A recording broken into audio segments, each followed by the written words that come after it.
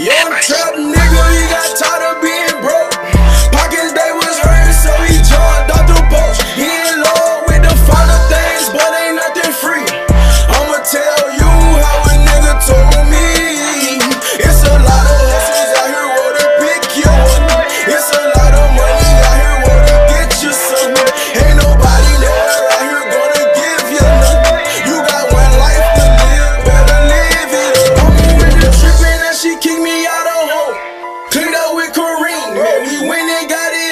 Look. Started kicking doors, trying to get my money long. Yeah.